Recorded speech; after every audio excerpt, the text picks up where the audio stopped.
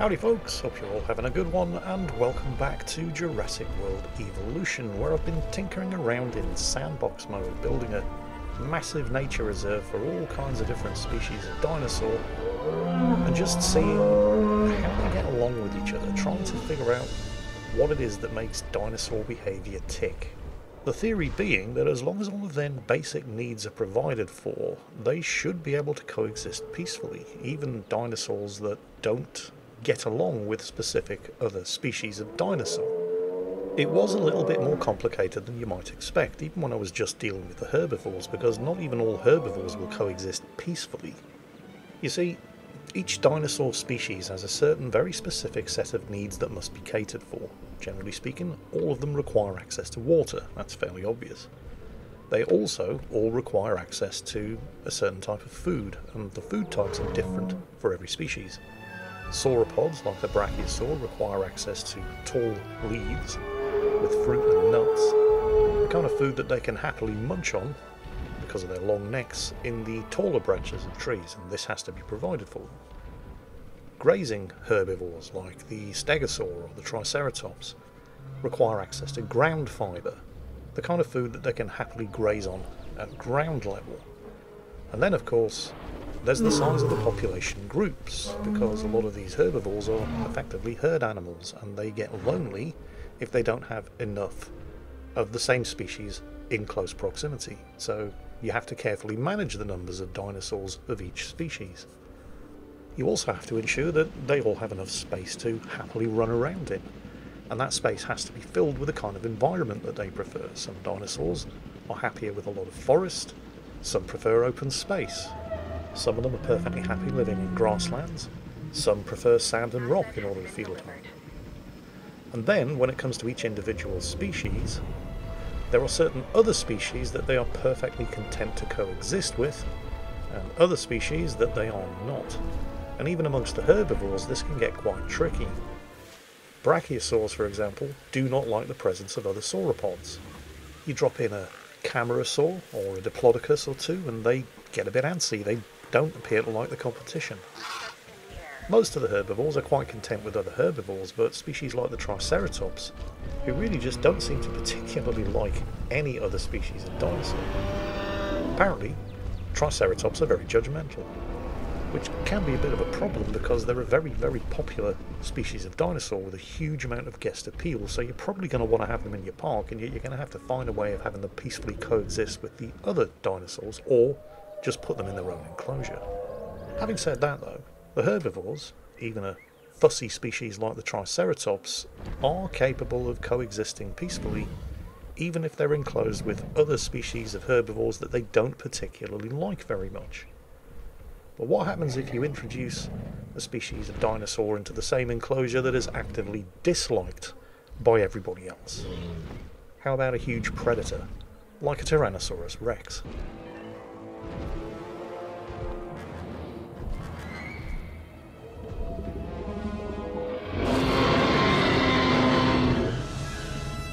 You'd think that the answer would be obvious utter bloody carnage and mayhem. And yet, it turns out, at least in Jurassic World Evolution 2, that even something as notoriously violent as a Tyrannosaurus rex is entirely capable of coexisting with herbivores, prey animals, as long as its needs are catered for. Obviously, a carnivore's needs are a little bit more tricky than something like a herbivore because carnivore food doesn't actually grow on trees little scavengers and mammal hunters, like the Compsognathus here, are relatively easy to take care of because they're not really a threat to any of the other dinosaurs. And as long as they give them a supply of meat, they're perfectly happy, and the other herbivores actually seem to quite like them. A tyrannosaur, a hunting predator, does also require prey. You can dump as much meat on the ground as you want, and the tyrannosaur will eat it, but it won't be happy. It's got that itch that it needs to scratch, it has to hunt. That, of course, is where the live prey feeder comes in. And it turns out that as long as there are a couple of live prey feeders in the park, regardless of how far away they are, as far as Trixie the Tyrannosaur here is concerned, that need has been provided for, and she does not go hunting the other herbivores.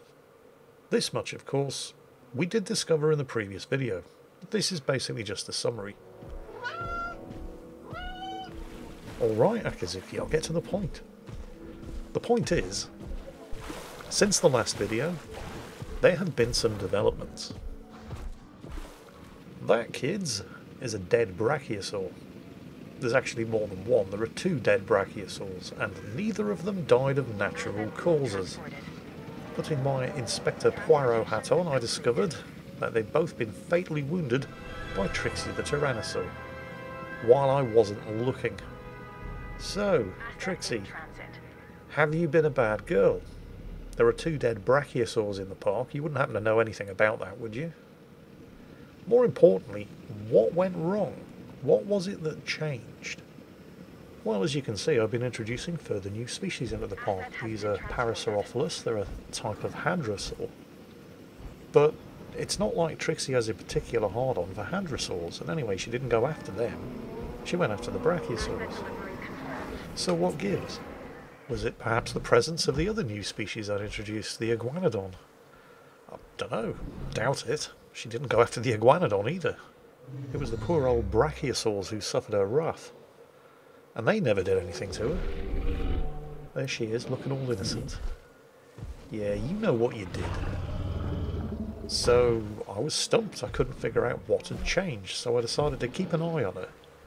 Just to see exactly what was going to trigger her next kill, because if she'd already offed two brachiosaurs for no apparently good reason, aside from the fact that she's a Tyrannosaurus Rex,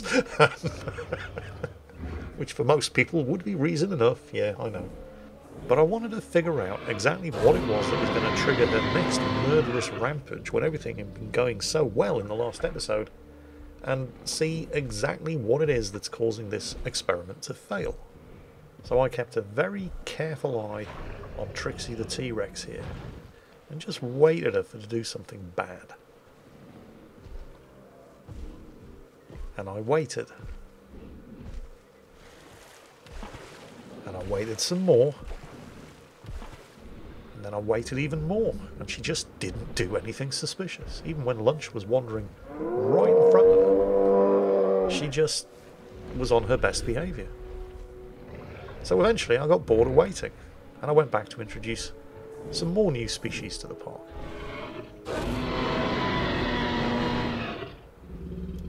a couple of camarasaurs to top off the sauropod population, and more hadrosaurs, the Olorotitan here. And while my back was turned, almost the second I stepped away to breed two new species, you'll never guess what happened. Ha! Caught her in the act. but what's different? The only thing I've done is introduce new species into the park. Oh, hang on a minute. Maybe that's it. You see, it turns out that as well as having to provide the basics like food, water, the correct environment, forest, rocks, sand, grassland, all that kind of thing, and where carnivores are concerned, ensuring that there are prey animals there, provided by the uh, live prey feeders, for them to satisfy that I have to hunt something itch, and also ensuring that each particular species has a large enough group of the same species in order for them to not get lonely. There's one other factor which I had neglected, and which I had made significantly worse by introducing a whole bunch of new species such as the camarasaur, the iguanodon, the Olorotitan, the Parasaurolophus, or however the hell you pronounce it. There's an upper limit to the amount of other individual dinosaurs, regardless of species, that certain other dinosaurs will tolerate in the same enclosure. I don't know what the specific number threshold is, and it's different for each species. Uh, Stegosaurus, for example, in a herd of five Stegosaurus, will be perfectly happy with any number of other different dinosaurs as long as, for example, the number of other different dinosaurs doesn't go higher than, say, 25. Like I say, the number is different for each species. By dumping a whole bunch of other herbivores into the same enclosure, I'd obviously gone higher than the number of other dinosaurs that Trixie was happy to share the park with. Here's the thing though. Jurassic World Evolution deals with this on a per enclosure basis. So, what that means is, let's say for example, I had 52 dinosaurs in total in the park, and none of those dinosaurs wanted to share their enclosure with more than 25 other dinosaurs. Clearly, this wouldn't work because I had 52 in the park, but if I had split those dinosaurs evenly into two separate enclosures, it would be fine. Even if there were 52 dinosaurs in the park, none of those dinosaurs were sharing an enclosure with more than 25 other dinosaurs. And because I haven't split this park up into enclosures, it's essentially one massive enclosure and there are too many dinosaurs in it. And so Trixie's just doing what comes naturally. She's reducing the number of dinosaurs to a level that she's comfortable with. And for reasons known only to herself, she seems to like starting with the sauropods. It's actually quite interesting to watch because you would think that a Tyrannosaur would have a hard time bringing down something as big as that. But watch how she does it. She goes for the legs and the tail tries to weaken them until they stumble and fall, and then she closes in for the kill. Which, when you think about it, it all makes sense. Triceratops is just lying there like, I didn't see nothing. Not my problem. This is a sauropod problem. Yep.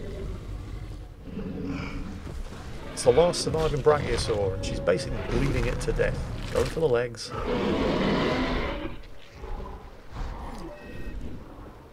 It's a remarkably effective technique, considering the size difference between the two of them.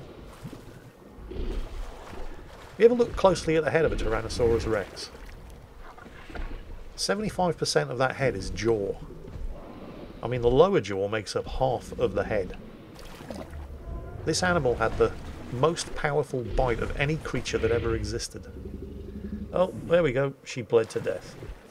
That's what Trixie's doing, and that's why she's doing it. So, with the mystery solved, I thought, what should I do about it? And then I thought, why should I do anything about it? Because Trixie's taking care of the problem all by herself. And then I thought, it's going to be a slow process though. Perhaps she'd appreciate some assistance. So I bred some velociraptors. Now, just so you know exactly where we're starting from here, I specifically bred almost all of these raptors to not be hyper aggressive and to be more sociable, at least as sociable as velociraptors can ever get. One, however, did have the hyper aggressive trait, and it's this one. And I did that for a specific reason, because that would make this one the dominant raptor of the pack. And this one, as well as being hyper aggressive, which is why it's the dominant one, also has the sociability trait. And the way Jurassic World Evolution 2 works is that the dominant animal within any given group, the alpha, enforces its other traits upon other members of its group or pack. So the theory being that this hyper aggressive raptor, who's now hiding in the forest, since it is the dominant alpha of the pack, it will make the others even more sociable. At least, that was the theory. It's almost as if I forgot I was dealing with velociraptors. Yep, within seconds of dropping them off in the park, these little bastards started trying to murder each other.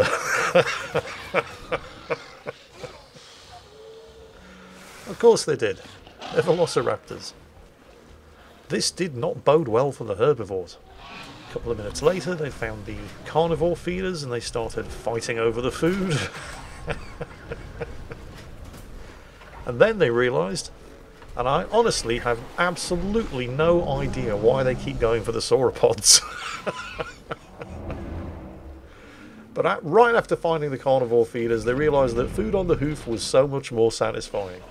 They completely ignored the live prey feeders and just started going straight for the brachiosaurs. What is it about the brachiosaurs? What, what did they ever do to the carnivores? I don't know. Well, they must have done something. I guess they know what they did. And it didn't end with the Velociraptors. Apparently Trixie thought there was a contest on or something, so she started murdering iguanodons. Seriously, Trixie, it's not a competition. Take your time. And of course, with Trixie providing such a bad example, the Velociraptors, well, they didn't need any encouragement, did they? They're psychopaths. Tell you what, the Stegosaurus put up more of a fight than the Brachiosaur. But four against one, it never really stood a chance. I'll tell you what's interesting about Jurassic World Evolution 2 compared to the first game. The way the Velociraptors work together as a pack to take down prey much, much bigger than them. It's fascinating to watch. It's not particularly great from the Stegosaurus perspective, of course, but hey, science. So, good news, I figured out what the problem was. Bad news, the solution involves the mass slaughter of helpless herbivores. Maybe the raptors will turn on Trixie. Maybe Trixie doesn't like the competition and will turn on the raptors. Maybe the raptors will stop going on this bloody slaughter once the population levels get down to a manageable amount.